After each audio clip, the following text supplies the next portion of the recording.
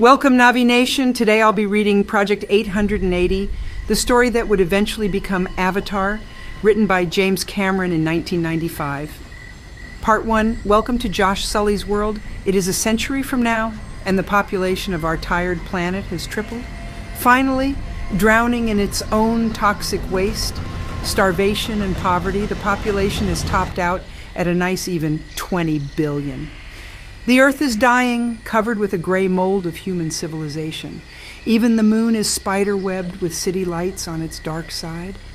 Overpopulation, overdevelopment, nuclear terrorism, environmental warfare tactics, radiation leakage from power plants, and waste dumps, toxic waste, air pollution, deforestation, pollution and overfishing of the oceans, global warming, ozone depletion, loss of biodiversity through extinction, all of these have combined to make the once green and beautiful planet a terminal cesspool. Josh lives in the urban sprawl which has grown like kudzu over the whole eastern U.S. His particular part of this undifferentiated concrete rat warren is Charlotte, North Carolina, but you could be anywhere, and it's the same crowded, gray, trash strewn high tech squalor. The walls are gray, the sky is gray, the people are gray. They shuffle past each other in dense crowds, shoulder to shoulder, unwashed because of the water shortages, and sickly looking from the bankrupt diet of cheap carbohydrates and synthetic proteins. It looks like a cross between THX 1138 and a Calcutta train station. Josh has it a little worse than most because of his involvement in a stupid little war people barely remember. He is paralyzed from the waist down, and his useless legs hang twisted and shrunken down the front of his wheelchair. Josh still wears his army jacket, and with his unkempt beard and hair and surly eyes, he is pretty much ignored by the crowds which buffet him like surf. Just another angry vet, a piece of discarded human trash. Josh fights his way to work every day on the crowded subway, and every night he goes home to a tiny cubicle of an apartment in a vast government housing project. The room is reminiscent of a cell at a federal prison, which is pretty much what it is. The amenities look like they are from a 747, which is to say they are efficient, space conscious, and are about a 100 years old. There is a single fluorescent fixture which casts a sterile light over the grimy walls. It flickers constantly. One entire wall, all seven feet of it, is a TV screen. On it, we get a wider view of the world, and it's nothing to write home about. There is a breaking story about a fire in a Boston subway which asphyxiated over a hundred people. Not unusual these days. This is followed by a feature about the death in Kenya uh, of the last lion living outside captivity. This leads to a recap of the state of the environment overall, and it's grim. The oceans are overfished and barren, poisoned by toxic runoff. All whales and at least half the Earth's fish species are extinct. On land, over half the species extant at the beginning of the century are now gone forever, with most of the remaining endangered. The human race, using its technical ingenuity, has learned to keep itself alive, but it has lost almost all contact with the natural world, which it has strangled and crushed out of existence. There are no national parks left, only housing projects and protein farms. Yosemite is an upscale condo development. Most oceanfront property is used for mariculture, since the only food source efficient enough to feed everyone these days is spirulina. It's amazing the things you can do with algal protein concentrate if you know your spices. Josh Sully is a hopeless guy in a hopeless world, a little guy whom the big machine has ground up and spit out. Josh gets a call from a computer at the municipal admin complex. The automated voice tells him politely that his brother, Thomas Sully, has been killed in a transit system accident in Boston and he's required to claim the body by 1200 tomorrow. His brother died choking in the smoke of the subway fire which Sully had seen on the news. Cut to Sully at the Boston Municipal Crematorium. He sits next to a large cardboard box, about seven feet long, sitting on the rollers, waiting to go into the furnace. In the box is his brother's body. We see that they are identical twins. There is no other family there. Josh watches the attendant cover his brother's body with the top of the cardboard box then efficiently band it with two plastic straps like he's getting ready to ship it somewhere. Then the box is rolled into the furnace and the burners are lit. As he is wheeling himself through the crowded halls of the municipal complex, Sully hears someone calling his name and sees two guys in suits working their way through the crowd to catch up with him. He is immediately suspicious, wondering what collection agency they are from. His brother must have died with some debts. They tell him they are with the RDA, the Resources Development Alliance. This is an international consortium of major corporations whose purpose is to find and exploit resources on other planets, both within the solar system and in the last 25 years among the nearer star systems. Imagine the Dutch West India Company, funded by Microsoft, Matsushita, and a dozen or so of their mega corporation buddies. Everyone just calls it the consortium. The RDA has an official charter from the ICA, the Interplanetary Commerce Administration, pronounced ICA, an international trade regulating body run much like the EC is today. The charter allows them to exploit the resources of planets, moons, asteroids, whatever they find, as long as they follow the International Space Resources Treaty and the other treaties which prohibit weapons of mass destruction and limit military power in space. These two guys ask Josh if he knows anything about what his brother was doing in the last year. He says they weren't that close. He knows that Tom had made some deal to work in space, but he couldn't talk about it because he'd signed some kind of non disclosure agreement. It turns out the suits are interested in Josh because of his genes. Tom Sully had signed up to something called the Avatar program. In the Avatar program, you sign a 10 year contract to work on Pandora a planet of the Alpha Centauri star system. Like everyone, Josh has heard of Pandora, or more properly, Alpha Centauri B4, discovered by the first interstellar expedition 25 years ago. Pandora has been the single most interesting thing to happen to the human race in ages. The news services love to run clips of the wild scenery on Pandora and its bizarre flora and fauna.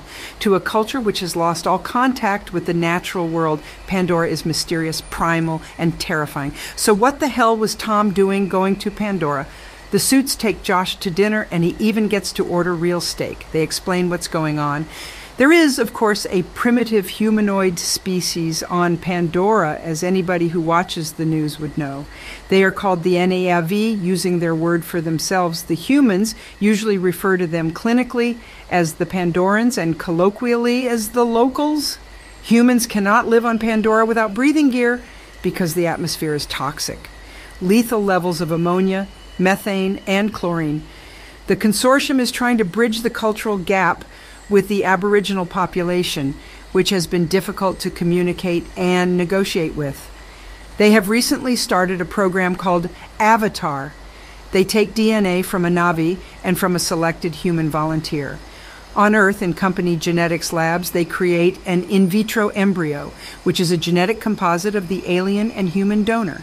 The recombinant embryo is grown in vitro during the flight to Pandora, which takes three years. Ship time slash five years Earth time.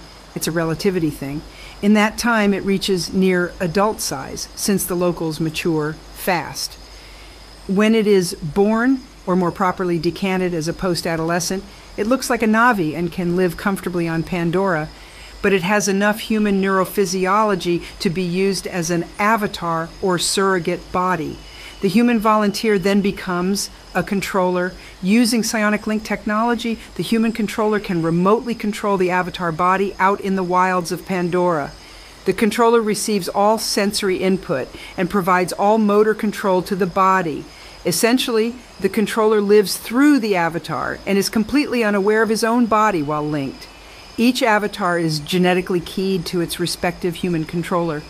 By communicating with the locals through these avatars, which are less alien to them, the RDA has had some success teaching them English and basic skills. So Tom was going to be one of these controller guys. That's right, they tell him. His embryo has been growing in vitro at the lab for several months.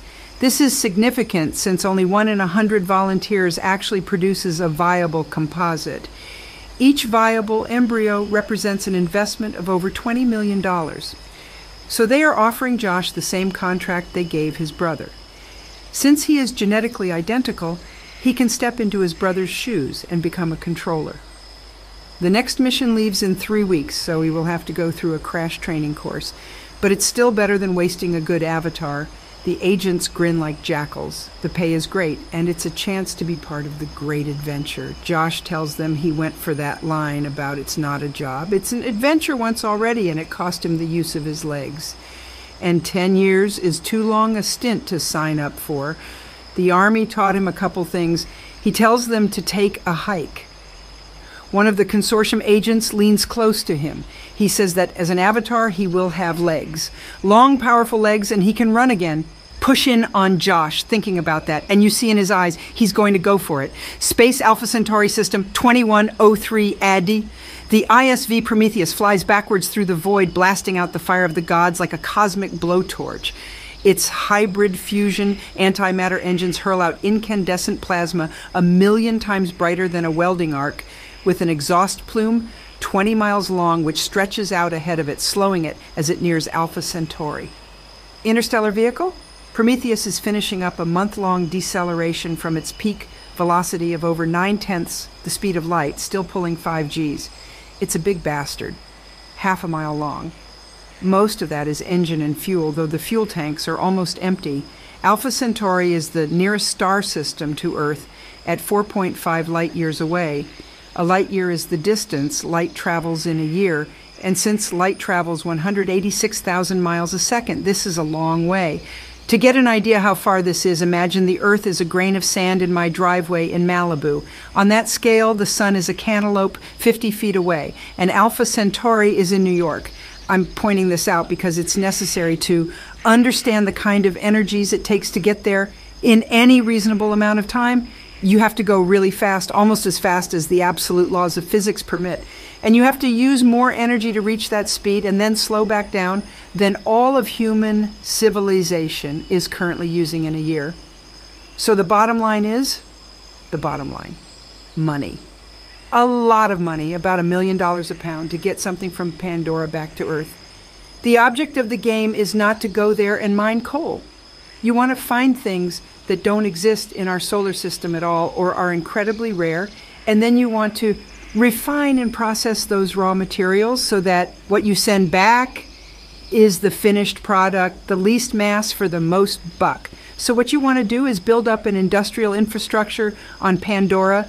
Uh, you want to tame it, you want to civilize it, and you need workers to do that. Only you can't use humans because A, they cost too much to bring, B, they die in 30 seconds without a breathing mask. So colonization in the classical sense won't work. But wait, you have an indigenous population there.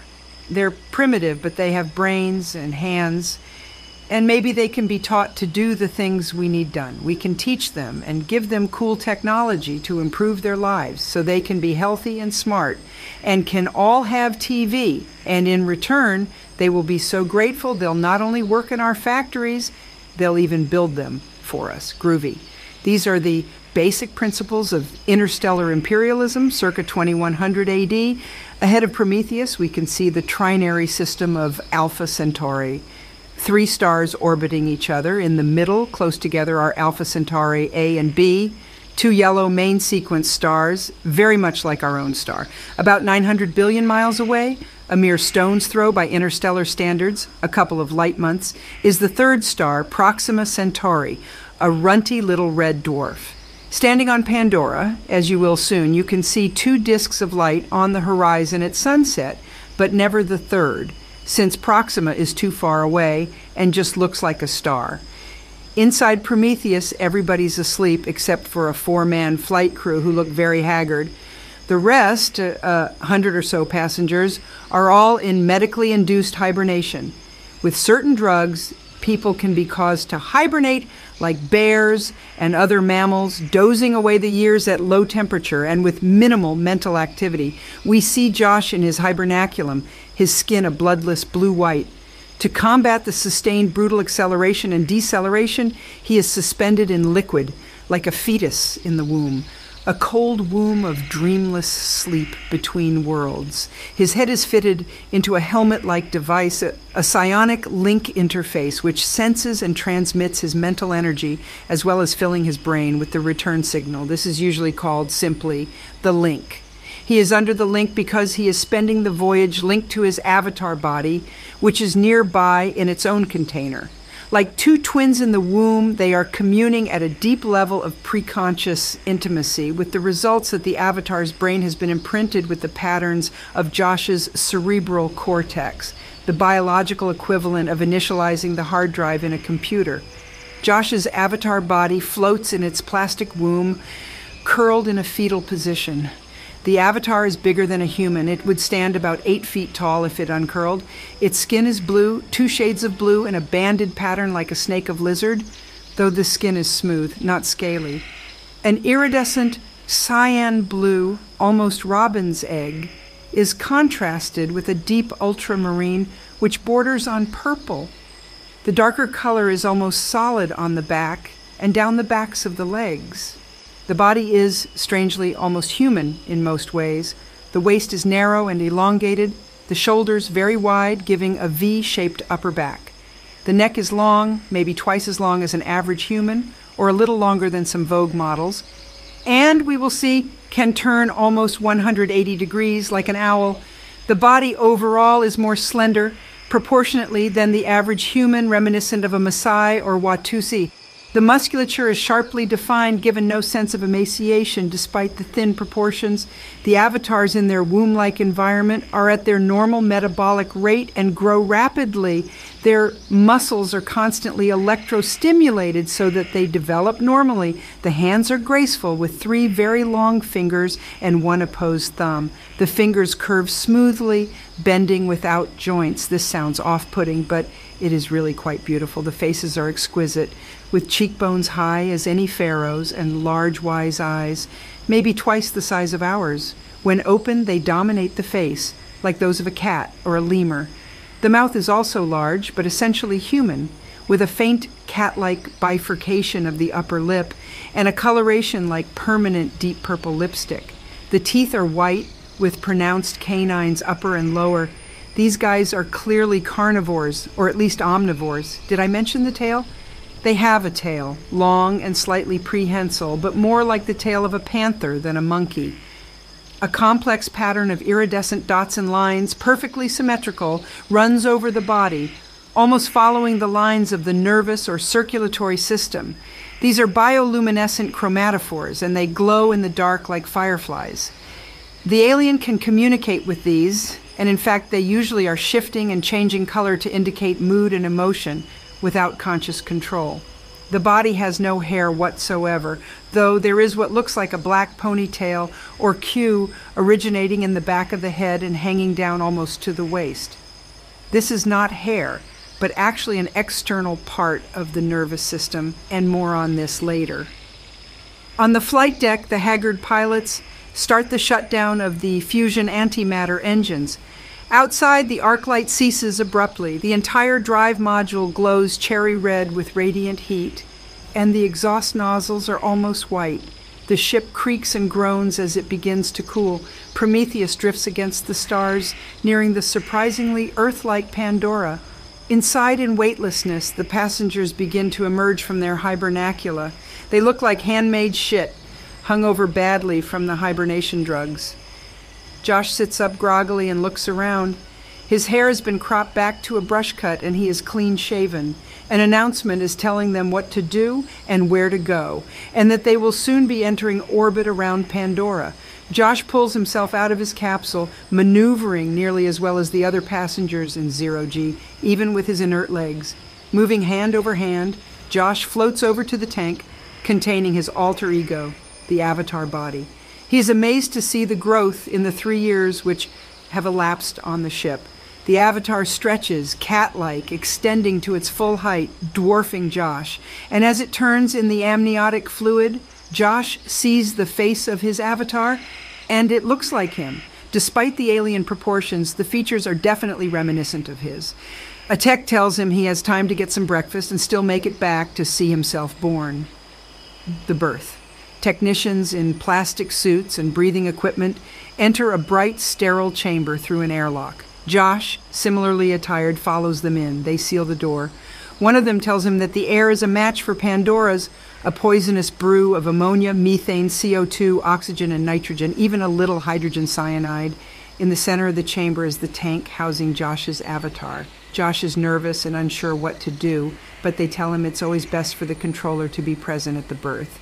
Using a flexible collar like a synthetic sphincter to retain the amniotic fluid in zero gravity, they ease the body out of the tank into the birthing room. It looks exactly like a giant baby being born from a glass and rubber womb. The avatar kicks feebly, and everybody is grappling with the slimy newborn body. The technicians ask Josh to help hold it. Like an overwhelmed father, he looks like he is about to faint. The pure, raw shock of life, struggling into existence, affects him far more than he would have thought. Josh struggles to help give birth to himself. They suction its mouth and it coughs, taking its first breath. Josh looks on in wonder as the avatar starts to wail, clenching its fists, its face contorting at the terror and pain of the outer world. It grabs Josh's arm and he winces in pain at the strength of the thing. It opens its eyes and looks right at him. He stares into its eyes, which are his own eyes. Its terror passes. It stares blankly at him, taking in shuddering breaths of the poisonous air. Josh pulls his arm free. Tech, congratulations, it's a boy. Josh glances down along the avatar's body, his expression growing even more amazed. ISV Prometheus goes into a low orbit around Pandora. We get our first good look at the new world. It is magnificent. Almost another Earth at first glance, with white cloud whirls over a blue and brown surface. But the continents are all wrong, and the proportion of land to sea is much greater. So the blue is a little different too, with a cayenne tinge to it, suggesting the different air, but you can just tell, even from orbit, this is a planet that has life. It's got the look. The most amazing thing about Pandora is that it doesn't actually orbit its sun directly, but is actually in orbit around an enormous planet, a gas giant almost twice the size of Jupiter, which in turn orbits the yellow sun of Alpha Centauri b. This monster planet has been named Polyphemus for the great cyclops of Greek myth. This is because, like Jupiter with its great red spot, Polyphemus has a vest cyclonic storm like a great dark pupil in its vast disk the eye of an angry god looking down on Pandora. Pandora, despite being almost as big as Earth, is technically a moon of the giant planet. Polyphemus has 13 other moons, some closer in, some farther out. Depending on what's where in its orbit, Pandora can have two or even three moons in its sky at once. Pandora and the other moons cast large black shadow dots on the parent planet like beauty marks. Descent. Tiny relative to Prometheus, one of the transatmospheric shuttles separates and drops down toward the planet. The Lockheed Saab TAV 37 Valkyrie class shuttle is actually a heavy lifter, a workhorse several times larger and many times more powerful than today's space shuttle. As the shuttle plunges through high altitude cloud formations, Josh presses his face against the tiny viewport, eager for a look at the new world. Below, he can see mist shrouded mountains growing as they descend. The pilot tells them they are over the so called Horn of Australis, the great southern continent, which juts up into the equatorial sea. Josh can see volcanic buttes and mesas towering above a lower cloud blanket like the tepuis of Peru. Streamers and whirls of shredded cloud swirl around the mesa tops. Then the pilot tells them that they may get a glimpse of the Montes Volans, the famous flying mountains, which planetologists say are the rarest phenomena in known space. Also called the Hallelujah Mountains, they are like floating islands among the clouds, literally floating.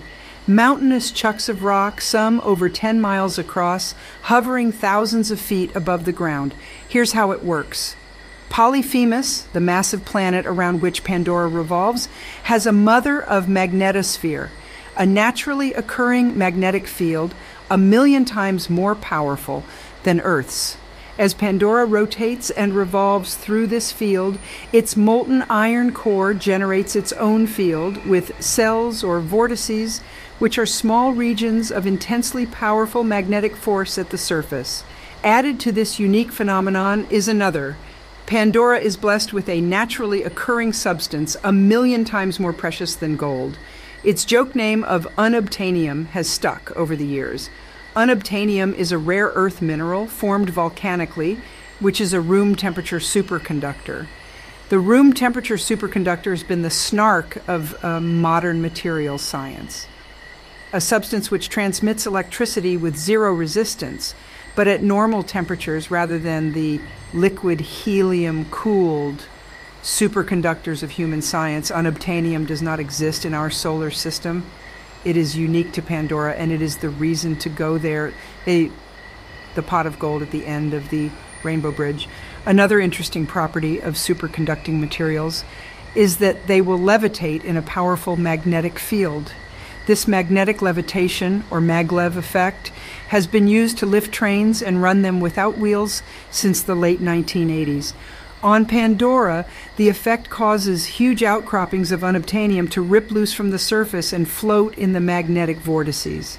These floating islands circulate slowly in the magnetic currents, like icebergs at sea, scraping against each other and the towering mesa like mountains of the region. The Pandorans call them the Thundering Rocks, and the entire area is sacred to them, which could be a problem since the humans have come to mine these mountains and get rich, which is why they are called the Hallelujah Mountains. Josh stares in awe as they pass over a few of the floating mountains. Less than 10 miles away on his side of the ship, they float like clouds made of rock amongst the fixed mountains and swirling cloud structures. Where they are in clear sunlight, they cast hard shadows on the land below. They are overgrown with foliage at the top and a straggly beard of vines hangs down beneath them like the roots of an air fern. The sides are sheer cliffs. Waterfalls, originating on the mesa like tops, stream down the sides and dissolve into spray at the bottoms like upside down geysers. The local peaks and mesas actually project above the level of the craggy underside of the few floating mountains Josh can see, so it's obvious that collisions are inevitable. Twinkling like tiny flecks of ash on the wind are what look like birds, manta like flying creatures of various sizes. Josh doesn't get too close a look at these. Standing like a wall behind some of the smaller islands is Mons Prometheus, the largest of the floating mountains. Known colloquially as the Big Rock Candy Mountain, it alone is worth hundreds of billions in revenue to the consortium. Its flanks and top are wreathed in streamers of clouds cloaked in mystery. He sees it for only a few seconds before a, a thunderhead blocks the view and the shuttle plunges into gray murk. Now the shuttle is passing lower and lower over the highland rainforest. Just as the plants on Earth are green with chlorophyll, the plants of Pandora, based on a different biochemistry, are mostly purple. The tones range from purple blue through violet to magenta. Josh catches glimpses of the rainforest through the clouds as they skim over the endless purple carpet. Other than the color, the trees look like trees. They have trunks and branches and leaves, uh, though some of the shapes are strange and the proportions are wrong. There are waterfalls feeding highland rivers, and Josh sees more flocks of the bird like things. They pass a few small patches of open grassland. The magenta grass ripples in the wind like wheat Josh sees some moving shapes, large herd beasts running, then clouds again. Josh, coming from his gray concrete urban sprawl, is amazed by the sheer scale of this lush, virgin world. Finally, he starts to see the hand of man. They fly over what looks like a small refinery. This is the deuterium plant, an automated facility for extracting the heavy isotope of hydrogen from the local water supply. The deuterium is used to fuel the fusion engines of the starships for their homeward flight, as well as to run the base generators and the shuttles. The shuttle makes its turn on final approach. We get our first look at the human colony, called Hell's Gate. It looks like a giant cookie cutter took a chunk out of the rainforest, a disk of the naked ground two miles across where the trees were raised and the earth scraped bare. Nearby, connected by a broad gravel road, is a gaping wound in the earth, a strip mine where metal ores for construction are extracted. At the center of the cleared circle of Hell's Gate is a cluster of squat concrete and steel structures. Surrounding the central complex are two high fences of thick chain link, one within the other, with concertina wire at the top. The whole thing is electrified. At the corners of the complex are concrete towers, their tops bristling with searchlights, scanning gear, and automated sentry guns. The reason for the no man's land between the fences and the dark wall of forest is clear. It is a killing ground. The shuttle lands, and Josh dons his full face exomask and rebreather pack. There is a hiss and a popping sensation in his ears as the pressure equalizes to the outside, and then the doors open.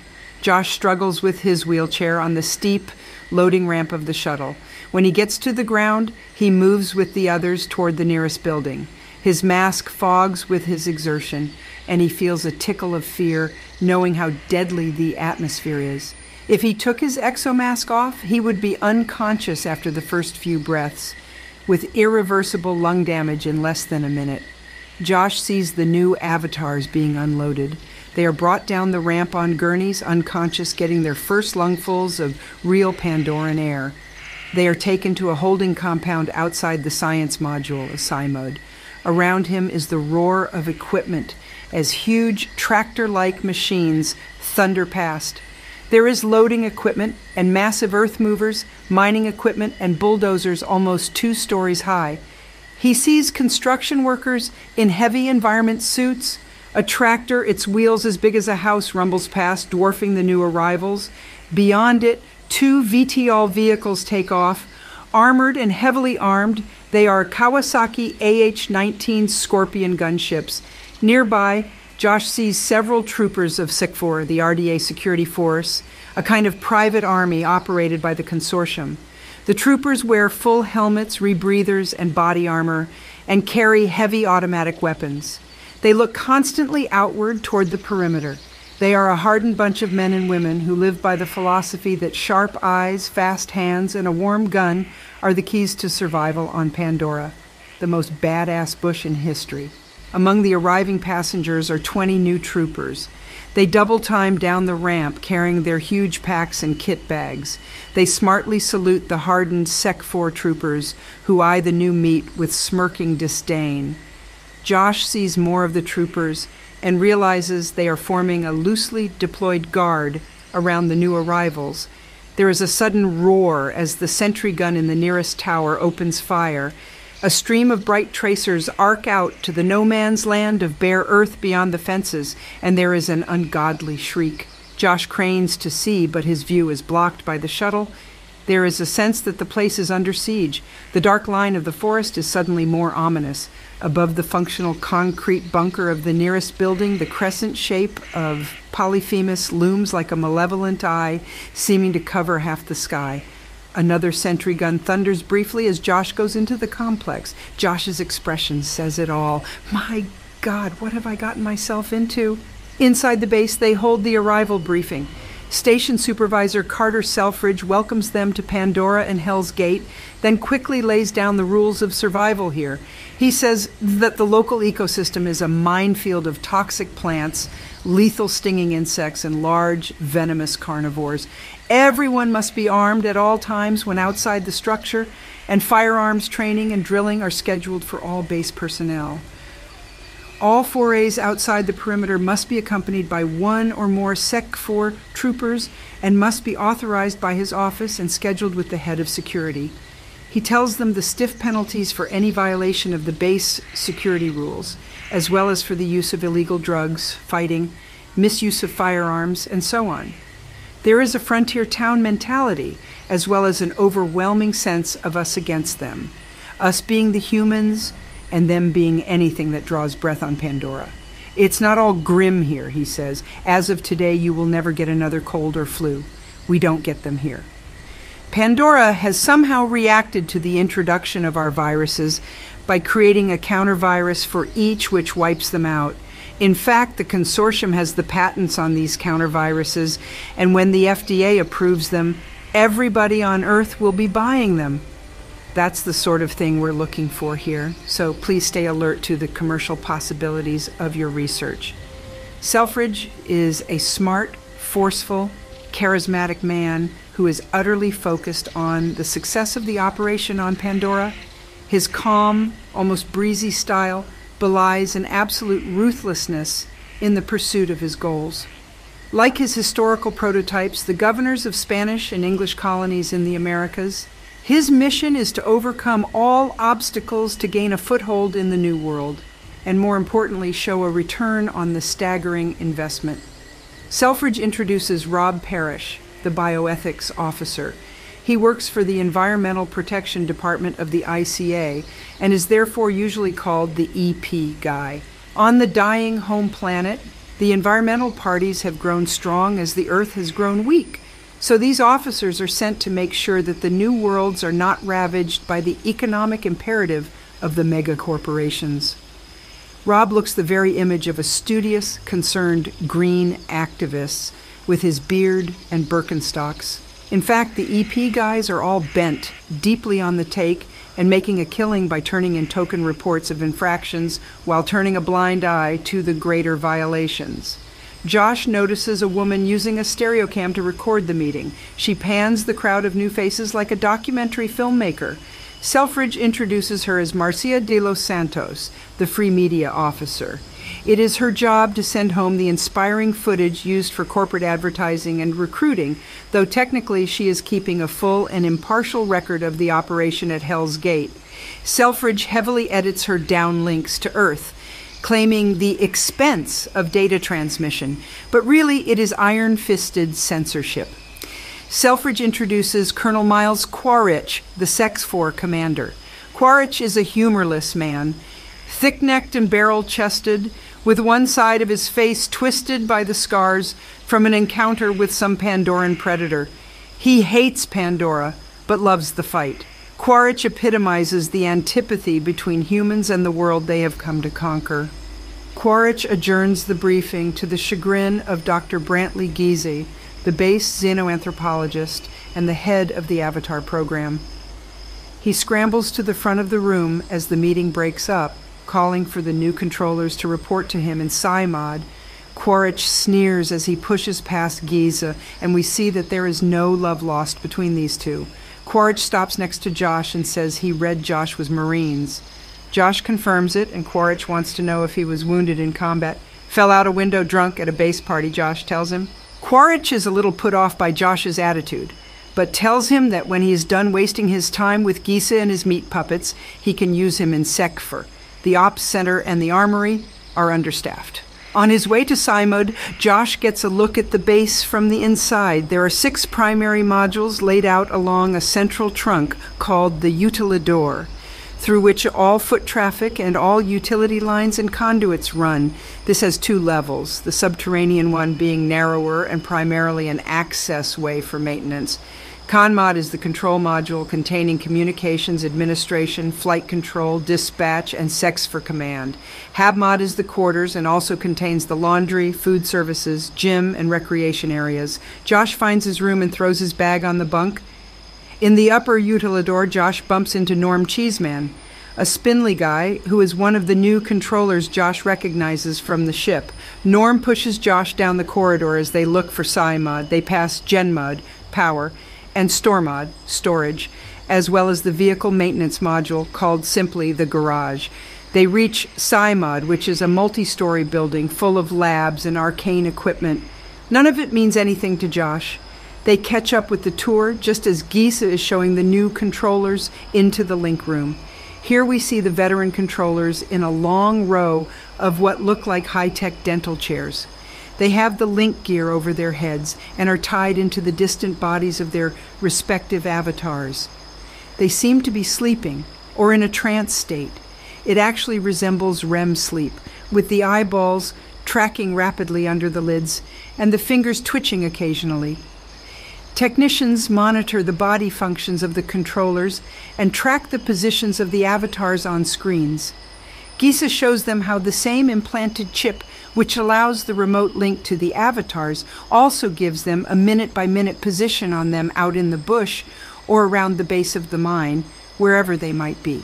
Giese tells the new arrivals that they will each be assigned to a veteran controller who will supervise their first link up with their avatars.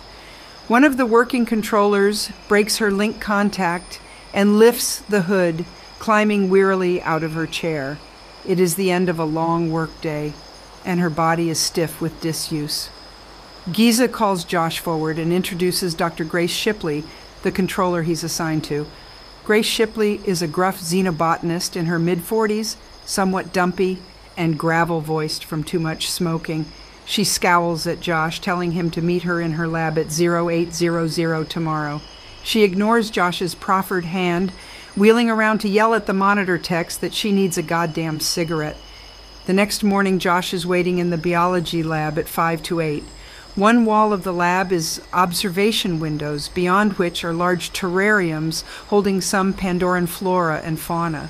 Josh peers into a chamber filled with fern like violet plants, unable to see if there is anything else in there. He moves to the next chamber, which is an aquarium filled with murky water. The window is huge, but he can see nothing in the gloom. He turns as Grace Shipley comes into the lab. With shocking suddenness, a dark shape, much bigger than him, materializes out of the murk and slams against the glass. Boom!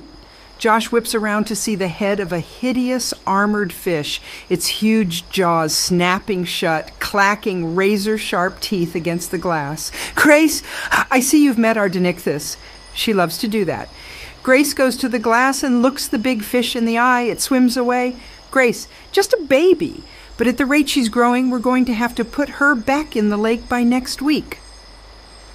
Over the next few scenes, it will become clear that Grace is to be Josh's reluctant mentor.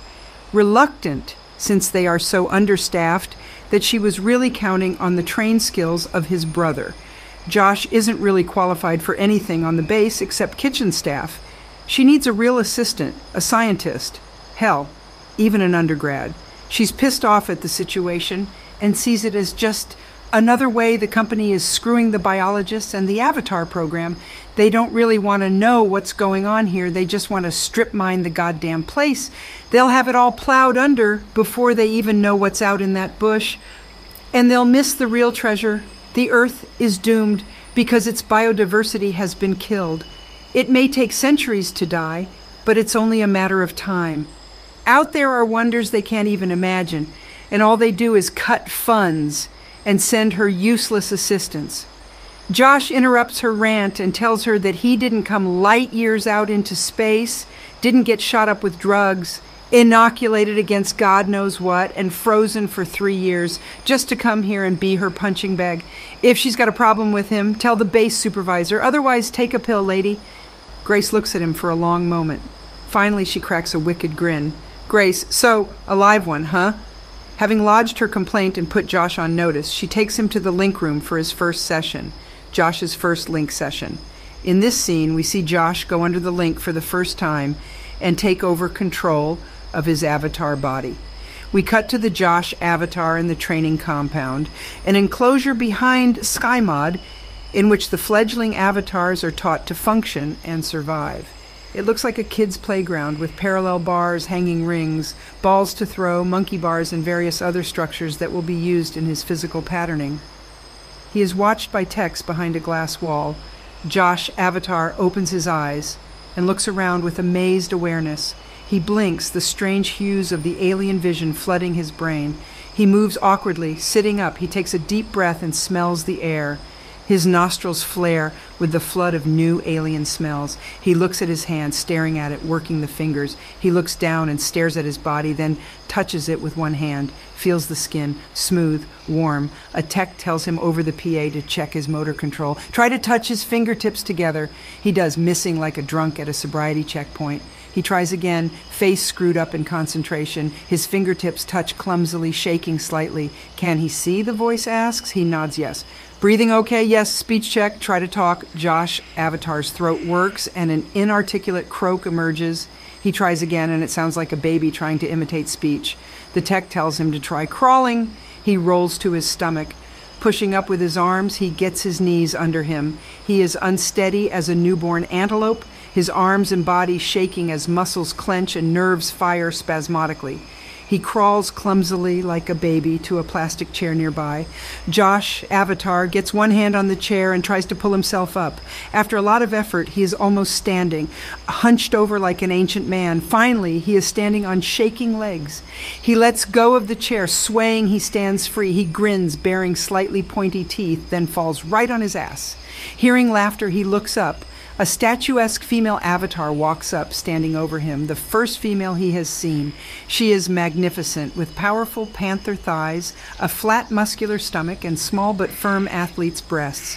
She is wearing shorts and a t shirt, and in human years would be about 25. Her face looks somewhat familiar. Josh manages to croak out his first sentence. Josh Avatar, Woo! Are you you? Female Avatar, Who do you think, dumb shit? How quickly they forget. The voice is very recognizable. It is Grace. Now that we know, we see her face in the alien features. She grins at him and cocks one hip. Grace Avatar, ain't I a babe? Grace Avatar helps him to his feet and supports his weight while he tries to walk. Just like a mom holding a baby's hands, she faces him, holding his hands, and steps backward. Josh, the toddler, takes his first steps. She slowly lets go of his fingers, letting him balance himself. He takes another step. Josh stares down in amazement at his feet. His face holds a childlike wonder. Josh Avatar, I'm walking. Grace Avatar, you sure are, kid. Josh's eyes fill with tears. Grace sees one running down the blue skin of his cheek. Grace Avatar, yep, looks like everything's working just fine. Cut to Josh being interviewed by Marcia de los Santos, the free media officer. Josh is explaining how his training is going. He's walking fine and has started running and climbing exercises. His coordination is already equal to a human five year old. She asks him a question she has asked all of them what it's like to wake up in another body. Josh tries to tell her, but he can't, just that it is a wonder, and in his case, a great gift. He says the air smells like cinnamon. Josh under the link. In CU, we see his eyes tracking like he is dreaming. Josh Avatar runs to catch a ball thrown by one of the other trainee avatars, Norm Cheeseman. We barely recognize Skinny Norm, since his avatar body, like all of them, is powerfully muscled. Montage Josh Avatar taking a drink of some green liquid, which spills down his chin. By his expression, it obviously tastes great. Norm Avatar showing off to the techs, using the window like a mirror to shoot bodybuilder poses. Josh doing a running cartwheel, jumping up and catching the monkey bars and pulling himself rapidly across hand over hand. Grace Avatar taking a picture of him with an Instamatic camera as he eats an unfamiliar Pandoran fruit, getting the juice all over himself. Josh Avatar drawing and firing a large pistol, blowing big holes in paper targets. Josh Avatar lies down to sleep for the night on a futon in the training compound. Some of the other avatars are already asleep nearby. We can see their bioluminescent spot patterns glowing in the dark. Josh Avatar stares up at the alien sky, seeing mighty Polyphemus rise against the stars. His cat like eyes are wide with the wonder of this new world. He hears the chatters and shrieks from the forest, that black wall out beyond the compound. The sentry guns fire, and there is a piercing scream, short lived. Soon he will be out there, his eyes close as sleep takes him. The human Josh opens his eyes in the link room a moment later. He climbs stiffly from his chair, pushing himself across to his wheelchair. He sits rubbing his temples with fatigue. Even in the lesser gravity of Pandora, his human body feels like a dead weight after his exhilarating hours in the other body. Grace, looking tired and rumpled, climbs out of her seat nearby. She looks down at her doughy body. Grace, at midnight, I always turn back into a pumpkin. Come on, let me buy you a drink. In Selfridge's office, Quaritch is complaining that he doesn't have enough men to escort all the scientific sorties, cover the mine, the base, and also the new construction. Selfridge tells him he will cut the escorts on the scientific teams back to one man per sortie. Quaritch nods, but says that the number of major predator attacks on the perimeter has steadily increased, and there have been five major breaches of the outer fence this year. One of his men was killed by a slinger last Tuesday, and two are on medical report because of hellfire wasps. One of his gunships was attacked by a Leonopteryx near the deuterium plant and almost crashed. He's lost six people already this year, twice the number for the same time last year, and is already over his ammo budget. It's getting worse, not better.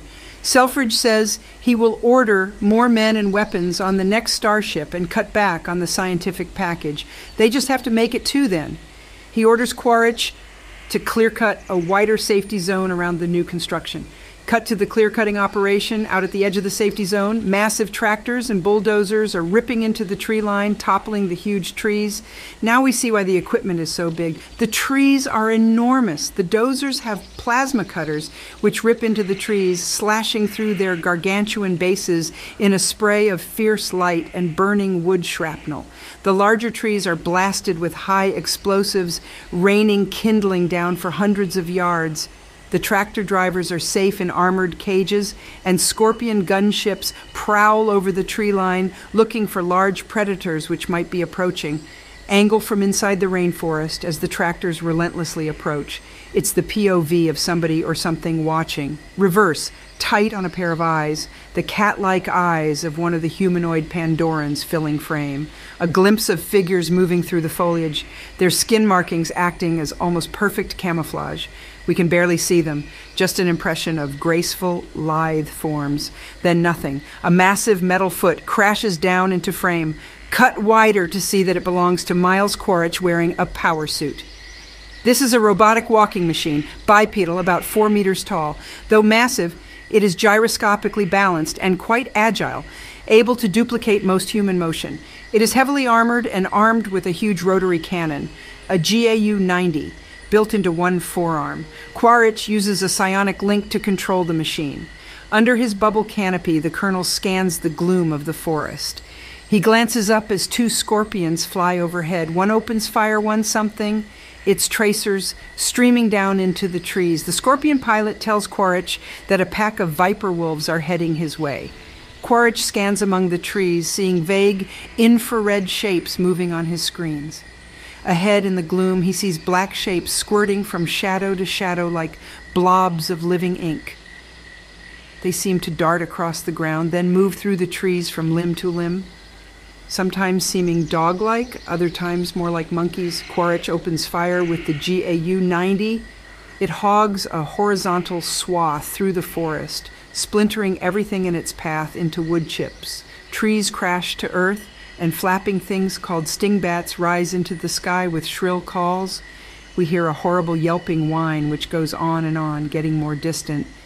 Satisfied, Quaritch crashes forward through the bush, scanning.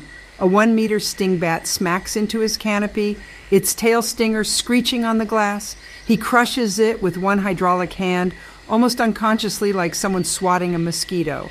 A shrieking banshee ray hurtles at him from above the trees. It is a small one, less than a three meter wingspan, shaped like a manta ray. It swoops through the trees on translucent wing membranes. We get a glimpse of glassy fangs unfolding from its mouth like cat claws. Then the cannon blows it into chunks. Quaritch's canopy is showered with blue Pandoran blood. He passes a large plant form called Phalanxia, which fires nettle like projectiles at him. They ricochet off the armor, leaving drops of glistening venom. The Pandoran fauna and flora clearly share the philosophy of us versus them. This is one nasty place. Behind Quaritch, two troopers in power suits follow him into the bush ahead of the wall like blades of the bulldozers. Quaritch blasts something else. We see that he enjoys his work, takes a personal interest that things are done right. In the Utilidor, Rob Parrish is walking with Carter Selfridge. Parrish is complaining that Quaritch and SecFor are going too far. Now they want to burn large sections of the forest to clear it of predators. How can he be expected not to report that? Selfridge tells him that he should just do what he always does shut up and take the money.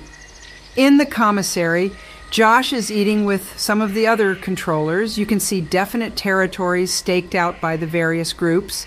The SecFor troopers stay on their side of the room and don't mingle with the civilians much. And the scientists have their own area. Within that, the controllers have a little corner reserved for them. But whether they are the elite or the pariahs is not clear. A little of both, actually. The controllers are a scruffy, smelly lot. They generally spend as many hours a day as they are allowed to, up to 16, under the link. And as their stint goes on, they get less and less interested in personal hygiene. They are like junkies with unkempt hair and beards, bad skin, and poor appetites. There's a crazy guy bussing the table named Hegner, moving slow and vacant eyed. He's obviously doped up on something prescribed by the base psych tech.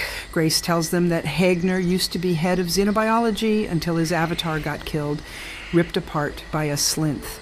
The slinth is a large predator, fast as a cheetah, that spears its prey with its head, which is like a venomous lance. The prey wobbles off and collapses, alive and conscious, but unable to move because of the neurotoxin. The slinth eats it alive. Hegner felt himself die and he hasn't been right since. Added to the trauma is the loss the loss of his other life, the one lived in his avatar body. Like many of the controllers, he came to see it as his real life, with his human life taking on the feeling of a boring dream. Grace tells Josh that they are going out to her worksite tomorrow, and he'll be meeting a local named Ende, who is her guide.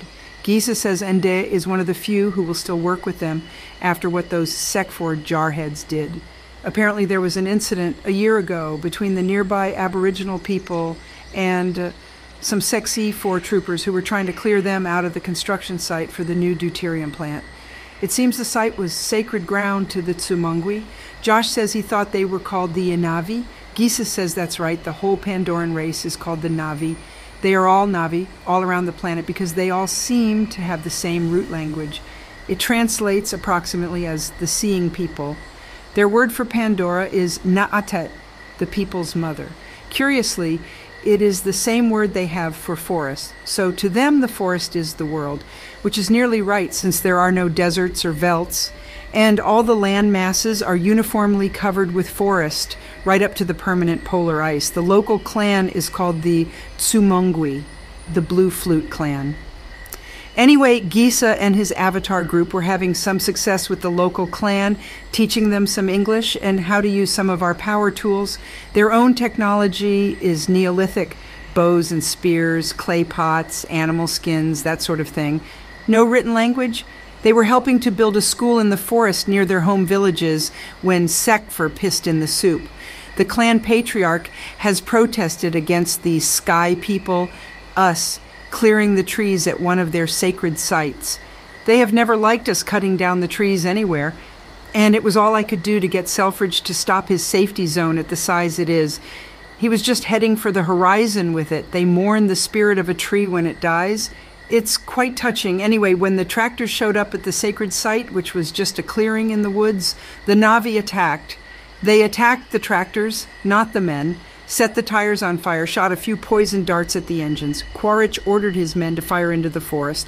Knowing the Navi were there, show them who's boss. Five Navi were killed. Since then, we haven't seen hide nor hair of them around here. They will meet with us in the forest sometimes, but never here.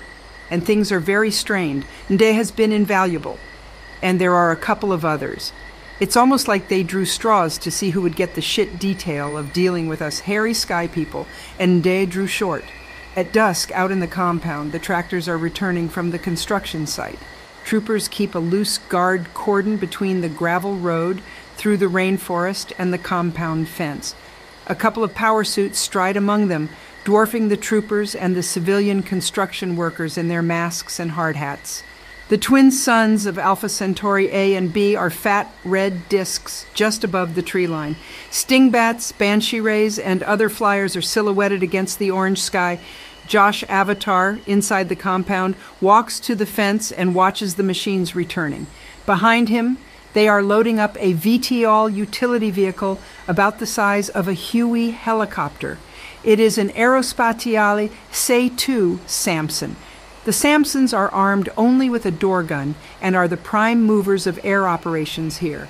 They are used by the scientists to reach their remote work sites and by the construction and mining teams to move personnel and supplies. Hell's Gate operates 10 of these workhorses and they are under civilian command. Josh looks up. Silhouetted against the twin suns, sitting on top of a cargo container nearby, is a real, honest to God alien, a Navi. He looks like the avatars, of course, but the difference is in the details. He is wearing a beaded loincloth of animal skin and has a leather tube slung across his back. He is squatting, still as a statue, holding what looks like a long spear, which stands upright against the sky.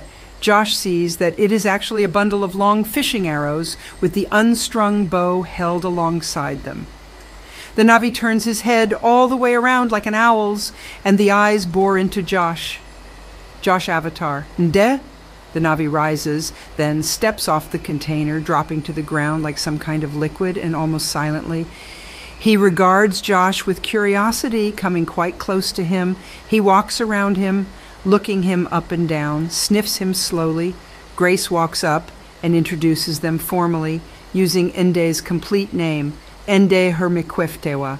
Nde makes a curious gesture with his hand, touching one finger to his forehead and flicking it gracefully toward Josh.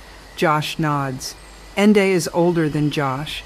In human terms, we would guess him to be in his late 30s. Next to him, we realize that Josh's avatar body is very young, a boy in his teens, maybe 17. Grace quietly speaks to Nde in the Navi language, surprising Josh. It is the first time he has heard it spoken. It is musical and lilting, and by the sound of it, very complex. Grace seems quite fluent. By subtitles, we understand that she is asking him to help her load the sampling equipment into the Samson Nde closes his eyes for a half second, which we will come to see means the same as our nod of agreement. They walk toward the Aerospatiale together. Josh hears shots and turns. There's a commotion out on the killing ground.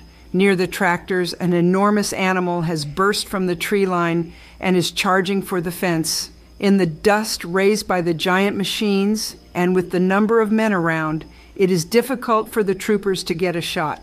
To make matters worse, the sentry guns have been deactivated in that sector while they bring in the heavy equipment. Almost twice the size of an elephant, the beast is called a hammerhead titanothere, and it is like a six legged rhinoceros.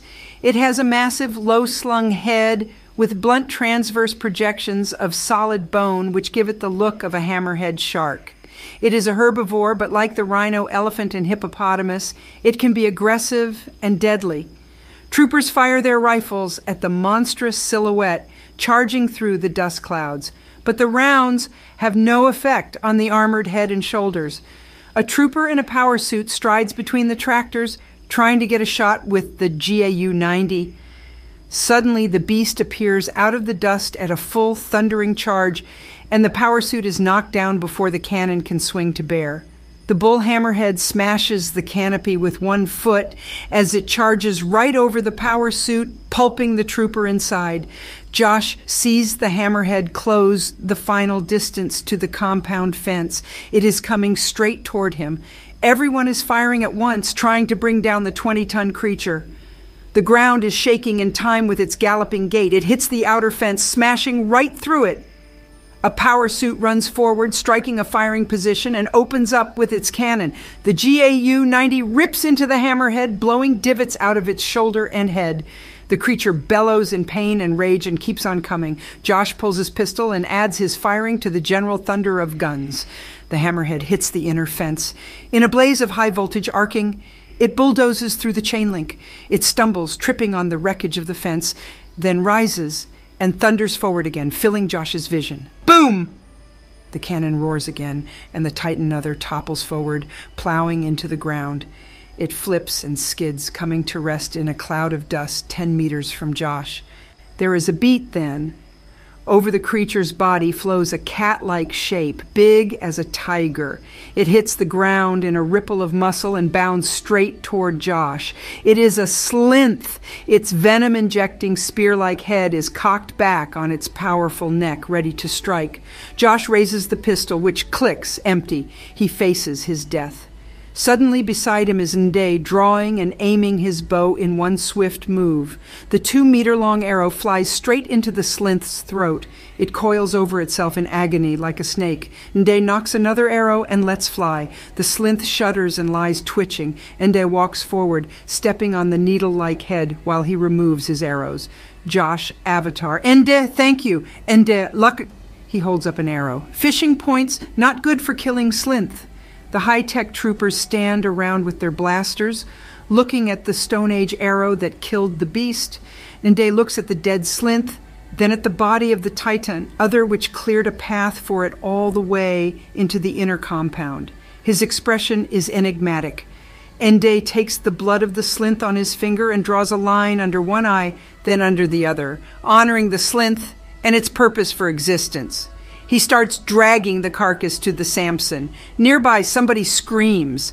Several hideous insects, almost a foot across, are leaping from the body of the titanothere and trying to fasten their hook like legs into some of the troopers. With the host dead, the parasitic wolf ticks are looking for a new ride. A frantic burst of firing breaks out as the soldiers jump around trying to kill the fast moving parasites. Nasty place. Uh, that night, Josh Avatar stands at the compound fence, looking out at the forest primeval. Tomorrow, he's going out there for the first time, and he is scared. There are light moving out there, single flitting ones, and larger patterns indicating big creatures.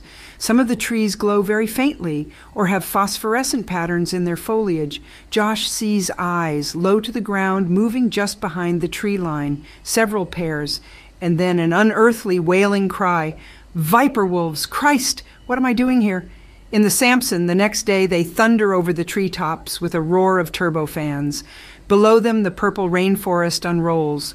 The human pilot and the trooper escort sit in a sealed front cabin, while Josh Avatar, Grace Avatar, and Ende ride in the back compartment with the side doors open.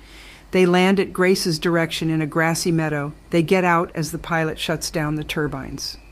Their escort, Corporal Lyle Wainfleet, steps out wearing mask, helmet, armor, and rebreather. He is carrying an almighty big automatic rifle. Josh is wearing shorts and a t shirt. Grace insists that he go barefoot so his baby blue feeties will toughen up with thick calluses like hers. Josh stares at the wall of trees surrounding them. Up close, the trees are enormous, as big as sequoias at the base, and even taller because the gravity on Pandora is less than Earth. Lesser trees, the size of mature oaks, are like underbrush in between the colossi. Lyle is like a bird dog on point, hyper alert, scanning the gloom beyond the meadow. A flock of stingbats crosses far above them. He tracks them with the rifle, but they ignore the strangers. Grace hates the troopers clomping through the woods with her. They disrupt the animals and smash the plants and make too much noise, and they tend to attract the larger predators to whom they appear to be injured or defective animals. They grab the cases of equipment and Inde leads them into the trees. Josh stares all around like a tourist in hell, rubbernecking and fascinated but scared shitless. Josh expects every dappled shadow to hide a razor fanged predator, but their entry into the forest is uneventful. Josh is jumpy and on guard, swatting at insects. Soon he has gathered quite a cloud of buzzing attackers. Grace uses a machete to hack open the bowl of a low cycad like plant. She takes the viscous sap from the inside and starts briskly rubbing it all over her exposed skin. She recommends that he do the same unless he wants his bones picked clean by every insect in the forest. He quickly complies. The insects move off like magic. Grace explains that the Navi use plant extracts for all sorts of things to relieve pain, purify water, reduce fever, limit or improve fertility, promote wound healing, counteract stings and poisons, attract useful insects, kill external and internal parasites, prevent sunburn, and repel or attract larger animals. As a xenobotanist, her work has been vastly accelerated with their guidance as they help her see the greater relationship between things in the forest. Josh gazes around him in wonder as they move deeper into the primeval gloom. The bark of the giant trees is alien, like big hexagonal fish scales. Moss covers the lower parts of the trunks, and lianas and other vine like structures lace around them and hang between them like fallen power lines. The roots of the greater trees are like mangroves, and they form clusters of pillars, each thick as a normal tree trunk, which join far above their heads into a single massive trunk. These root trunks actually wind around each other, forming a kind of braided cylinder which then rises a hundred feet above the ground before it forms branches. They move on. Grace starts giving him survival pointers, how to avoid the things that bite and sting and suck Phalanxia, the deadly projectile plant, shows up bright as a neon sign in the ultraviolet sensitive avatar vision. No problem, give it a wide berth. She shows him the nests of hellfire wasps. The wasps don't like the sap they have rubbed on, but don't push your luck by coming near the nest. She sees a snake tree and brings him as close as she can. It is a hydra like ambulatory plant twice Josh's height. It moves into place, then freezes so that it resembles a gnarled dead tree. When prey moves within range, it comes suddenly alive and strikes with one of six fanged heads. The animal is digested in a pitcher like bowl, and the half stripped bones ejected to lure more prey. Josh sees the bones lying around the base of the tree.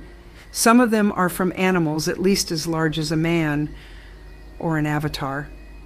Grace, the xenobotanist, is very excited to share the snake tree with him. They move on.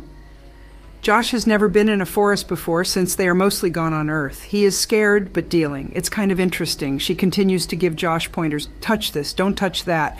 They startle a small creature which crashes away into the underbrush. Further up the trail, Inde signals them to stop. Grace motions and they crouch down, watching through the leaves as something moves through the woods parallel to them.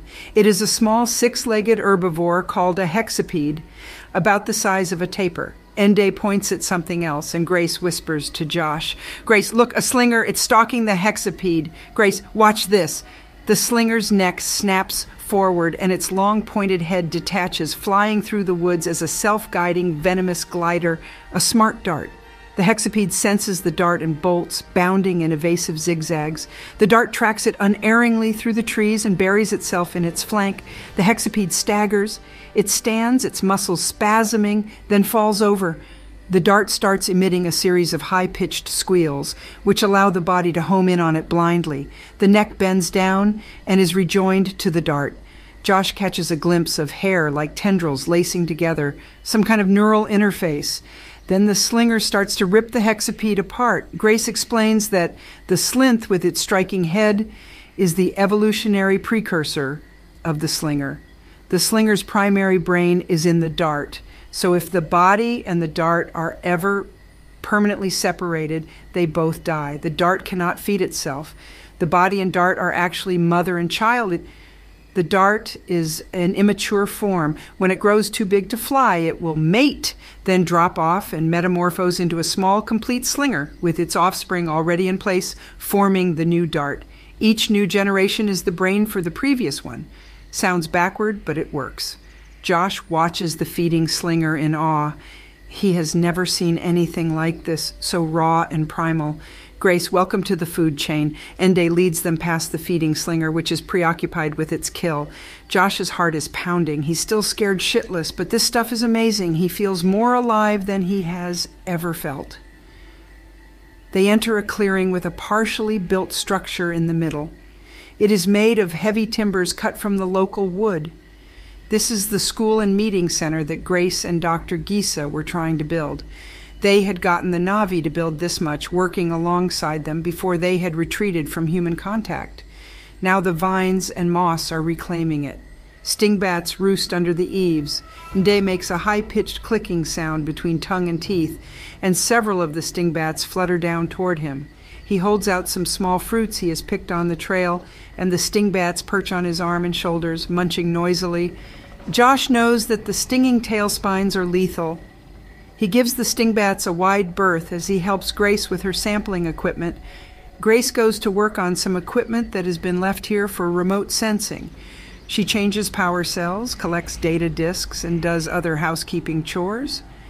Grace chops through a thick liana with her machete and drinks from the dangling vine. Josh tastes it water, clear and slightly sweet, like drinking from the teat of the rainforest. Back at the Samson, Lyle is idly tracking a banshee ray circling far above him with the scope of his rifle. The bored pilot is betting him 10 bucks he can't hit it. He's about to fire when he catches sight of some movement out of the corner of his eye. He motions to the pilot to keep still, and they watch as three dire horses emerge from the trees to munch grass in the meadow. Dire horse are herbivores, vaguely horse like in design, with very long necks and tiny heads. They have long, moth like antennae with feathery tips, which are constantly moving, touching the tips of other dire horses' antennae as they move near each other. They stand about three meters at the shoulders, or about half as big again as the largest Clydesdale. They have bold striped patterns on their bodies and glinting chitinous armor over shoulders and along the back of the neck and head. Lyle moves forward in a predatory crouch and rests his rifle across the fuselage of the Samson. The dire horse munch unconcerned. Fifty bucks says I nail all three, Lyle says. You're on, says the pilot. Poom! The lead horse, the male, drops like it was poleaxed. The other two spook, rearing. Poom! One of the females drops, kicking its legs in the air as it writhes on the ground. The third one bolts. Lyle tracks with it. Poom! It crashes forward, it neck bending back double as it goes end over end. The second dire horse struggles to regain its footing. It pathetically tries to drag itself toward the sheltering forest with a severed spine, its back legs useless. Poom! A blast of dirt next to it. It hobbles further, honking like a Canadian goose, its signal for distress. Lyle fires again, rushing the shot. Misses. Lyle, shit. Pilot, laughing. Doesn't count if it makes it to the tree line. Lyle, start reaching for your wallet. He flips the weapon to full auto. Peep, peep, pop, pop, boom! The crippled dire horse disappears in a cloud of dust as gouts of earth explode all around it. Tree trunks are blasted, foliage and underbrush ripped into confetti. When the dust clears, the dire horse is an inert carcass. On Lyle, turning toward camera, grinning, the three dead animals, BG. A blue hand slams into frame, grabbing his rifle. Grace rips the gun out of his hand and flings it cartwheeling over the Samson, then twists his arm behind his back. She viciously torques it almost to the breaking point, doubling him over. She forces him to his knees, jamming his face mask into the mud. Grace, little boys shouldn't play with guns. Lyle is cursing a blue streak. Grace kneels on his back and grabs his breathing mask. Grace, I ought to rip this thing right off. Give you some fresh air. Lyle squawks and pleads with her not to. She disgustedly gets off him. She is already walking away toward the felled creatures as Lyle gets up. Josh sees him going for his sidearm. Lyle has it aimed at Grace's back and is about to pull the trigger when Josh hits him like a freight train. He slams the trooper against the cowl of the ship, twists the pistol out of his hand in one lightning move, and then picks him up bodily. Josh is amazed at how easy it is to hurl the human 20 feet away, even weighted down by his full battle dress. Lyle crashes in a heap, breaking his arm, and lies there moaning. Josh picks him up with one hand and leans close to his mask. Josh, Lyle, look at me! Lyle, you looking? You do that again, I'll bite your throat out. Josh bares his pointy teeth in a vicious snarl. Lyle's eyes go wide with primal fear. Josh, understand? Lyle nods, and Josh shoves him into the Samson. Grace is staring at her new assistant. He is a fighter. There's hope for him yet. Meanwhile, Nde has gone to the bodies of the dire horses. A foal, only a few days old, has been hiding in the ferns nearby. It emerges and honks for its mother to get up. It licks her face and honks again pitifully. Nde pulls something from the tube across his back. It is a piece of gut twine with something on the end, a carved wooden cylinder. He starts to whirl it round and round above his head, and as it builds speed, it emits a powerful, ululating wail like a siren. It works like the bull roarer of the Australian Aborigines, though the pitch is different and Nde is somehow able to modulate it into a more complex sound. The sound of the bull roarer echoes off through the trees for miles. Cut to the Samson lifting, banking away above the tree line. Its turbofan roar fades. Then there is only the sound of the forest. We see shapes among the trees, figures which blend with the foliage. The banded patterns on their bodies make them hard to see in the dappled light, close on one of the dead dire horses. A blue hand enters frame, stroking its face. The foal is lifted, still honking feebly, and carried away on strong blue shoulders. Back at Hell's Gate, Brantley Giese is on the carpet in Selfridge's office. The incident with Trooper Wainfleet couldn't have come at a worse time. The Avatar program is on shaky enough ground without this sort of thing. Now Quaritch is out for blood, and Carter Selfridge is considering restricting the number of scientific sorties he approves and confining the avatars to base. Giese is barely able to get him to loosen up, reminding him of all the things they've learned about Pandora from the Na'vi and how much money there is to be made from the drugs and biochemical compounds as yet undiscovered in the forest. He reminds him of the money the consortium has made from the countervirus. Think how great it would be if they could get the Na'vi back to the table, trusting us again, and how it's the troopers running around blasting everything in sight that caused the rift with them in the first place. Selfridge and Quaritch don't understand a primitive culture which lives close to the soil, close to the daily cycle of birth and death. They don't understand, and they don't want to. Quaritch thinks the natives are lazy and stupid you give them a gun so they can hunt better and they give it back. How smart is that? Giese tried to explain that the Navi consider it unfair and obscene to hunt with a gun, a dishonor to the spirit of the animal and its purpose for existence. They believe that everything has a purpose, and sometimes the animal's purpose is to feed the Navi, and sometimes the Navi's purpose is to feed the animal, and determining which is which is what makes them both strong, fast, and perfect. They don't want to change. Selfridge says that if that is true, the Navi will never help them build factories and strip mine their own planet. They are useless to us. And Giese knows he has said too much. He is trapped in his own argument. He tries to buy time, saying he can get the Navi to cooperate. Next, we see Giese raking human Grace and Josh over the coals in her lab. Josh says he had to do something, that Jarhead was going to blow Grace's avatar away. Giese holds his head in his hands.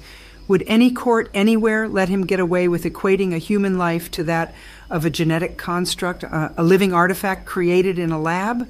Giese says he knows what it feels like. He spent enough hours in the bush in avatar form. It's intoxicating. It's the greatest experience imaginable. But they have to remember what they are here for and what is that? Giese is furious. He tells them both he doesn't want them around the base for a while until things cool down. He wants them to go out to Site 26. They can spend a couple of weeks in the boonies collecting up in the Hallelujah Mountains while he tries to get things patched up. He warns Grace that she is going native and dragging her assistant into it as well. And that way can lie madness. Look what happened to Hegner. A Samson roars high above the rainforest, climbing into the mountains. Josh and Grace are sitting up front with the pilot, Trudy Chaikin. Ende rides in the open back compartment with a single trooper, Corporal Bill Onizuki, and the unconscious avatars of Josh and his boss. Josh, so what happened to Hegner? Grace tells him that Hegner's avatar was not just killed by a slinth. He let the slinth take him. Suicide. He was dying of a broken heart and being in the avatar body without his loved one was just too painful. He managed to fall in love with a Navi girl. Some say they were married, and she was killed.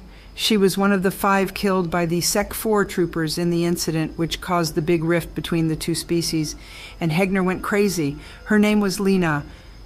There are many dangers on Pandora, Grace says, and one of the subtlest is that you may come to love it too much. Josh, not so far. Cut to Site 26, a remote research station. It consists of a shack, a single airlift module about the size of a Winnebago, which is perched on the flank of a mountain near the Monte Volans. Here the trees are gnarly and much shorter, their roots gripping the rocks like arthritic hands. In the clear space around the shack are packing cases and instrument packages left by previous research groups. The station is uninhabited. A few of the nearer flying mountains are visible a few miles off among the clouds. A Samson lands near the shack. Grace and the pilot get out wearing masks and rebreathers. They get Josh's chair out of the back, then help him out of the ship and into it. Their trooper escort does nothing to help unload, merely scans the area, his gun held at the ready. Ende stays in the back compartment of the aircraft with the unconscious avatars of Josh and Grace. They enter the shack, which is dark and musty. Grace starts the genny and turns on the lights and equipment. There are bunk beds, a cramped clutter of scientific gear, and two link chairs. Trudy jokes about being alone in the mountains for a couple of weeks with two men in such cramped quarters. Josh says the only threat he poses is body odor, indicating his useless lower body. Once Grace has checked out the link transmitters, she and Josh go straight to the chairs. Outside at the ship, their avatars blink and sit up. They get out of the Samson and stand breathing the cold mountain air. Streamers of cloud wreath the nearby mesa tops and partially obscure the floating mountains nearby.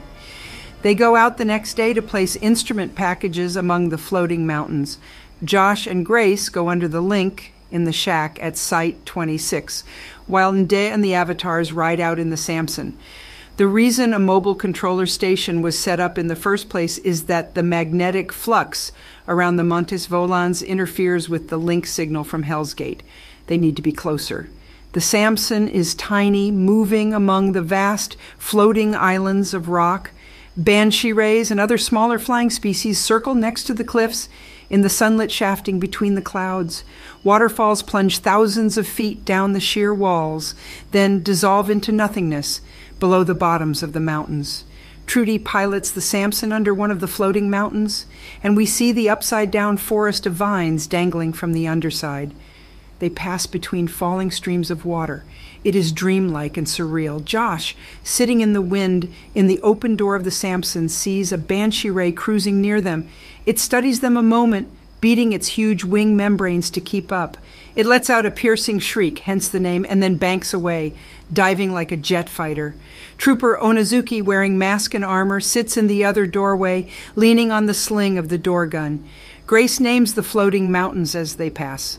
Mons Veritatis, Truth Mountain, Mons Tiburon, Mons Damocles, Icarus, Daedalus, and finally, the biggest of the superconductor mountains, Mons Prometheus, the big rock candy mountain, a hundred billion dollars worth of pure unobtainium. They land on the mesa top of the big rock candy mountain. Trooper Onazuki deploys rapidly, scanning, his rifle ready. The others get out and go to work. The mountaintop is shrouded in a blowing cloud bank. Occasional shafts of sunlight play across it, but it is mostly gray mist. Josh carries his instrument package away from the ship. He sets it up at the edge of a cliff, per Grace's instructions. Below, through gaps in the clouds, he can see purple forested slopes, half a mile down. Josh sees more banshee rays circling below. A couple pass nearby, giving him the eye. Like reef sharks, they will size you up, but seldom attack something their own size unless it is in distress. Mist closes around Josh as he walks back to the Samson. Visibility is only a few meters. Without warning, a curtain of what looks like slimy ropes emerges out of the mist. They are hanging down from above, their source unseen, and are dragging over the ground with a faint swish. Josh whirls in time to see them, but he is enveloped. They are translucent tentacles, only a couple of inches in diameter, but they react instantly on contact with him, curling around his limbs and body and zapping the hell out of him with electric shocks. Josh is entangled and dragged, struggling across the mountaintop. He shouts, and the others run toward him. The trooper aims his gun up into the mist above Josh, hoping to hit the source of the tentacles, but Grace stops him from firing. We don't know why yet. And Day sprints toward him, drawing his machete. Josh sees the cliff edge approaching. Beyond it, nothing. They won't reach Josh in time. Josh is swept off the edge, his feet dangling over space. Nde throws him the machete, and Josh catches it by the handle.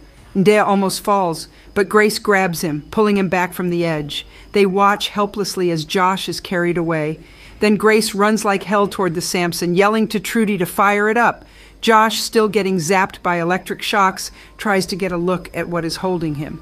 The cloud bank falls away, and he sees an enormous transparent canopy above him, glistening in the sunlight. It looks like an impossibly huge jellyfish, like a cross between a Portuguese man o' war and a blimp. Its clear membranous sac or bell is filled with hydrogen, produced by an internal biochemical process. The bell is 15 meters across and the tentacles over 30 meters long. The bell pulses to give some directional control, but mostly they drift with the wind. It expels gas to descend and expels water from trim bladders to rise. Josh sees a whole school of these things like a fleet of ships emerging from the clouds on both sides of him. Apparently, they sweep the tops of the mountains for prey, stunning it with their electric shocks. Josh looks up and sees that the contracting tentacles are bringing him much closer to the pulpy mouth. In the Samson, Grace and the others search the clouds for Josh. They see the fleet of gas bags and move toward them. Grace says they are Aerocoelenterates, genus Medusa. These are X, Medusa gigans, not too common this far east. She tells Onazuki not to fire because they are full of hydrogen and will explode like the Hindenburg. Josh is hacking at the tentacles with the machete. They are tough and rubbery, hard to cut. His distress encourages some circling banshee rays to attack. As they dive toward him, we see the distensible jaws unfold, revealing glassy, dagger like teeth several inches long. Josh hacks at the first one, slashing it right across the face. With a shriek, it veers off. The jaws of another snap inches from his leg, and he chops into it with the machete. It flutters off in a descending spiral, the shoulder of one wing hacked open. Some of the others follow it down, ripping it apart. Trudy maneuvers the Samson closer. They are slammed by something from above. The ship drops and she fights for control. Onizuki is almost pitched out. They pull him back in. A huge shadow. It, then they see it, like a banshee ray, only several times larger. It is the king predator of the air, the great Leonopteryx, striped scarlet, yellow, and black, with a midnight blue head. It is iridescent and beautiful. It feeds on banshee rays, munching them like salted peanuts, and the occasional medusa when it's really hungry. But this fight isn't about hunger, it's about territory. It sees the Samson as a competing predator, and it's pissed. The great Leonopteryx swoops away, climbing with unbelievable speed, disappearing up into the sun. Trudy loses sight of it. Grace tells her to take evasive action. Fast, Trudy banks and dives. And we see the Leonopteryx plummeting right behind her in a full delta tuck, like a hawk stooping. They build up airspeed, and Trudy jinks left, then right, trying to throw it off. Josh sees them go out of sight behind the flank of the big rock candy mountain and knows he's screwed. He chops harder at the tentacles, hacking through another one in a spray of violet blood. As he gets nearer to the pulsing sphincter of a mouth, he starts to hack at the gas bag overhead. He chops through the membrane, and hydrogen whooshes out, spraying him with a mist of blood. Josh hacks again, widening the tear. With a thin scream like a tea kettle whistle, the Medusa starts to descend. The great Leonopteryx outmaneuvers the Samson, slamming into it with a bone jarring crash. It flaps away with a piece of the engine cowl and the Samson plunges, smoking toward the ground. Amid alarms and flashing lights, Trudy fights for control. The cabin is full of smoke. The ship hits the treetops with a series of splintering crashes and sails out over a clearing, crossed up and spinning. It plops down into a huge gray mud spot. It has come to rest in the middle of an area of volcanic springs where terraced pools of mud plop with steam from below and geysers shoot up nearby. Visualize Yellowstone with purple trees and a few floating mountains in the background. Everyone inside is okay, though shaken, bloody noses, bashed knees Onizuki jumps out into the mud in a rage and slogs his way to rocky ground. He runs up a rise, screaming at the Leonopteryx, which is a crimson kite banking away. He opens fire with his rifle. Grace has come out, shouting something to him, which he can't hear over the thundercrack of his weapon. From a high angle, we see the trooper as a tiny dot on the rocks below. The POV rushes downward. A huge shadow can be seen, rippling over the ground, rushing toward Onizuki, who is firing in the other direction, his back turned. We rush right down to him, meeting our shadow, the shadow of wings 15 meters across. Wham! Angle on Onizuki as he is jerked up out of frame. His gun and helmet plop into the mud near Grace, and a terrifying shriek echoes across the landscape. Grace, I tried to tell him they always hunt in pairs. Several miles away, Josh is plummeting toward the rainforest, still wrapped in the tentacles of the deflating Medusa. The trees claw up toward him, and he enters a snapping, slashing hell of purple foliage. He is jerked to a stop, the wind knocked out of him, and his machete clatters down into the forest below him. He finds himself hanging 10 meters above the ground. The tentacles go limp as it dies, and he slips down, trying to hold on to them now, but they are too slick. He slides down this greased rope, falling the last two meters to the ground, where he lands on his butt. He jumps to his feet and scrambles away from beneath the Medusa. Panting, he looks up at it. It's still dead. He finds his machete and stands surveying the gloomy forest around him, alone in the bush, miles from nowhere. Great. He feels an overwhelming sense of doom. Josh backs away from the Medusa, then turns to look behind him. Chomp! The striking head of a snake tree snaps its jaws shut inches from him. He jumps back as several of the other heads lunge. Chomp, chomp, chomp. He stands there panting, just out of range of the Hydra heads. Josh, this place is like a goddamn Roadrunner cartoon. At the downed Samson, Trudy has called the base. She tells Grace that they can't send a ship for a couple of hours, everything's committed, and Quaritch won't send one of his gunships to pick up civilians. Prick. Grace picks up Onizuki's rifle and tells Trudy to get back to the ship. Josh is walking through the forest, moving in and out of patches of sunlight. He slaps at bugs. He finds the plant Grace used for insect repellent and cuts it open, smearing it on himself. POV from nearby. Something is watching him from behind a curtain of leaves. Reverse. Two eyes watch from the dappled shadows. Navi eyes, piercing gaze, filling frame. A soundless motion, the eyes are gone. Josh walks on through the forest, skittish and hyper alert. He keeps his machete gripped tightly. Something small rustles away through the ferns near him. He hears distant shrieks, chirps, grunts. There is a crash and an explosion of splintered wood and flying leaves. A bull hammerhead titanothere emerges into the clearing ahead of him in a shower of foliage. Its baleful eyes lock onto him. Josh is frozen. The titanothere bellows and lowers its 10 foot wide sledgehammer of a head. It charges, the ground shakes. Josh, in desperation, screams at the top of his lungs, spreads his arms wide, and runs straight at the thing. It stops its charge abruptly with an oversized bleat angle on Josh. He is amazed the gambit worked. He grins, makes a face at the titanothere. Something rises up behind him out of focus. Rack focus to it, revealing a Manticore. This is what really stopped the titanothere's charge. The Manticore is the most fearsome of Pandoran predators, and by the look of it, might be the toughest carnivore in the known universe. This thing could eat a T Rex and have the alien for desert. It is a black, six limbed panther from hell, the size of a tractor trailer with an armored head, a venomous striking tail, and massive, distensible armored jaws. Its shiny black skin looks like polished leather and is banded with thin stripes of yellow and scarlet. It has four powerful legs forming a base for a torso which angles up, centaur like, to a powerful shoulder girdle. Folded against its chest are two long forearms like the striking limbs of a praying mantis. Curving up over the back is a muscular scorpion tail, which ends in a scythe like stinger over a foot long. The locals call it Palulukan, which translates as dry mouth bringer of fear. Josh, still unaware of the silently advancing manticore, yells, Boo! to the titanothere. It wheels around, trumpeting in fear, and thunders off down the trail. Imagine Josh's surprise when there is an ear splitting snarl behind him and seven tons of rippling manticore launches over him, landing between him and the titanothere. The hammerhead is shaking the ground at a full gallop, but the manticore runs it down in half a dozen powerful bounds. It leaps to the titanothere's shoulder, seizing it in the powerful front limbs, and then the muscular tail arches over, slamming the foot long stinger through the beast's armored neck.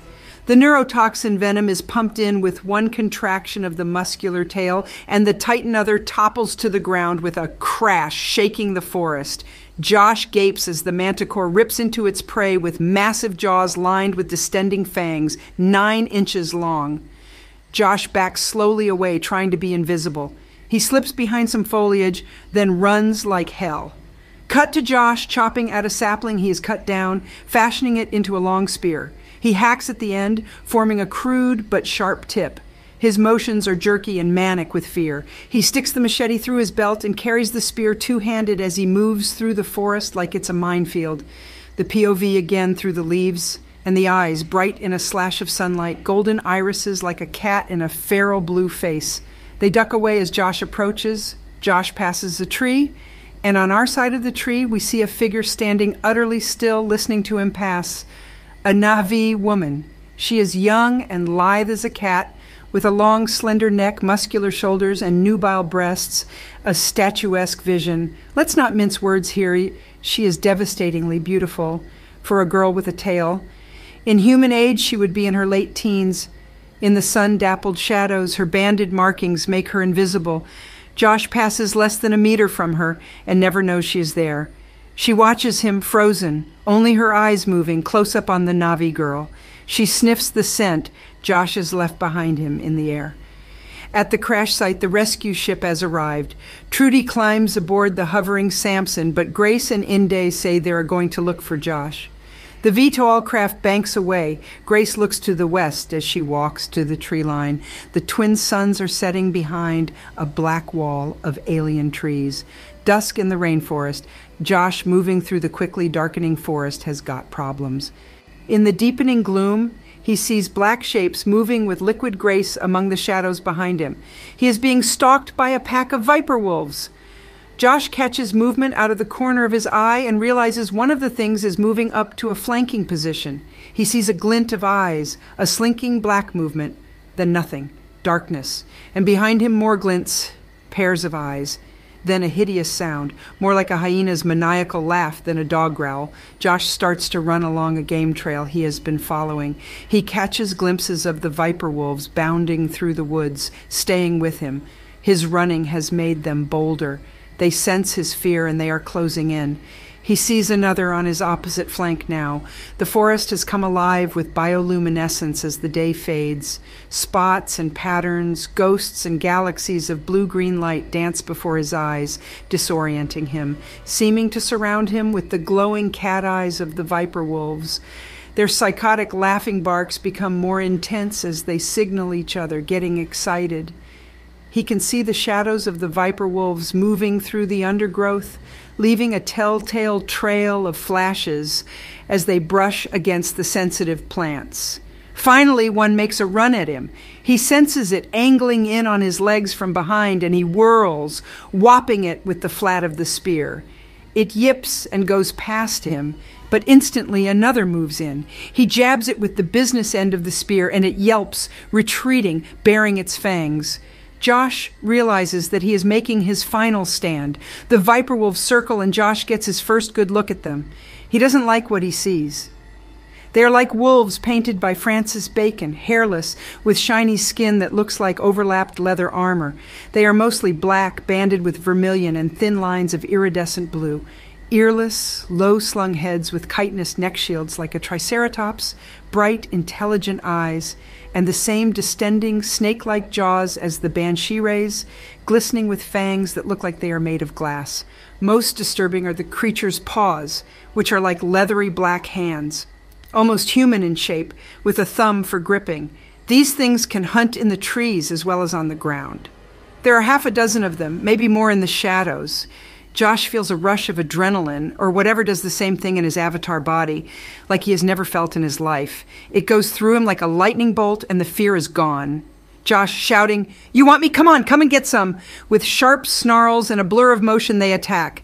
Josh plants the spear in one, striking true, but the speed of its attack wrenches it from his hands. He draws the machete and chops at another, just as a third sinks its teeth into his arm. He yells in pain and fury, slashing across with the machete. It cuts deep into the throat of the one on his arm, and it lets go. He sprints, trying to escape, but one of the viper wolves grabs him by the ankle with its powerful forehand. Josh tears away, but goes sprawling. He looks up in time to see four viper wolves lunging toward him. The nearest leaps at his throat. Thunk! An arrow appears in its chest. It lands on him, already a dead weight. He pushes it off in time to see a blue figure wade in among the remaining wolves. It is the Navi girl. She cracks her bow down on the skull of one of the wolves, then grabs another and picks it up bodily, hurling it against a tree.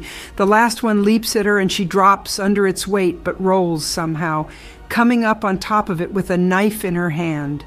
The knife flashes down, buried to the hilt in its heart. The last two viper wolves, stunned by her blows, retreat, yipping into the black woods.